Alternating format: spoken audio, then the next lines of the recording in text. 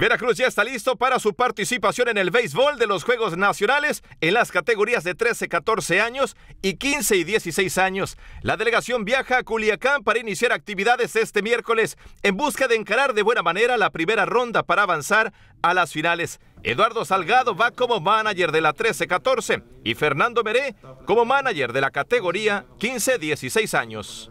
Nos tocó un grupo muy fuerte. El miércoles a las 9 de la mañana estaremos jugando contra contra Sonora. El jueves estaremos jugando contra Guanajuato.